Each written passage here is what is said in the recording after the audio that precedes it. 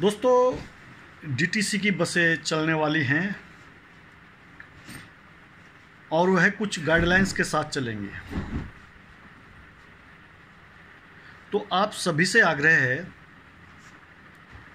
कि यदि आप किसी बस के अंदर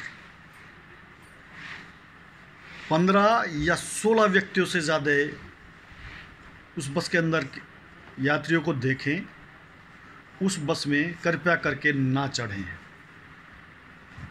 वह आपकी सुरक्षा के लिए अति आवश्यक है। क्योंकि जो बस में लोग यात्री कर रहे हैं, किसी को कुछ पता नहीं है कि वह कोरोना इफ़ेक्टिव है या नहीं।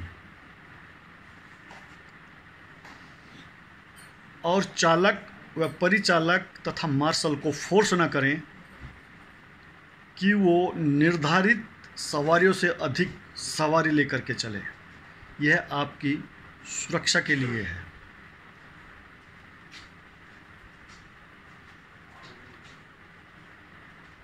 तथा जो गवर्नमेंट एम्प्लॉयज़ हैं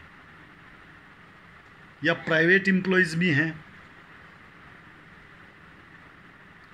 उनसे आग्रह है कि वह बसों में यात्रा ना करें। दोस्तों, बसों में यात्रा ना करें। वह अपने साधनों का, जिससे वो, जैसे स्कूटर, बाइक, कार, इस प्रकार के साधनों का प्रयोग करें। इससे आप अधिक सुरक्षित रहेंगे। क्योंकि बस में मालूम नहीं है कि कौन सवारी कोरोना संक्रमित है और कौन नहीं। तो दोस्तों, पैसा इतनी बड़ी चीज़ नहीं है। आपका स्वास्थ्य सबसे बड़ा है। तो मैं दिल्ली वासियों से कहना चाहता हूँ कि डीटीसी की बस में यात्रा कम से कम करें। और उसी प्रकार से मेट्रो में भी जहाँ तक हो सके यात्रा ना करें। और चूँकि एसी के अंदर यात्रा करना और भी ज़्यादा खतरनाक है, आप अच्छे प्रकार से जानते हैं कि एसी पर किस प्रकार से कार्य करता है। क्योंकि एसी की जो एयर है, वो उसी में वहीं पर सर्कुलेट होती रहती है, वह बाहर नहीं जाती।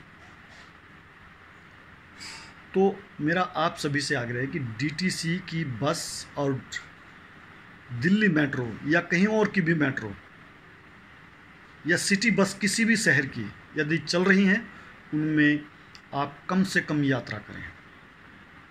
यह आपके लिए, आपके परिवार के लिए अच्छा रहेगा। आपके स्वास्थ्य के लिए अच्छा रहेगा। सरकार है, उसको करना पड़ता है ये कार्य। और सरकार बसें चलाएँगी भी। चूँकि पूर्ण रूप से ये भी नहीं हो सकता कि उनको खड़ी करके रखा जाए। जो बहुत ही नीडी हैं, जिनके पास कोई साधन नहीं है, केवल बस का प्रयोग वही करें। थैंक यू एंड धन्यवाद। तथा मेरा डीटीसी और मेट्रो से आग्रह है कि वह सुनिश्चित करे कि उनकी बसों में किसी भी प्रकार से, किसी भी स्थिति में गाइडलाइंस का उल्लंघन ना हो। Thank you and bye bye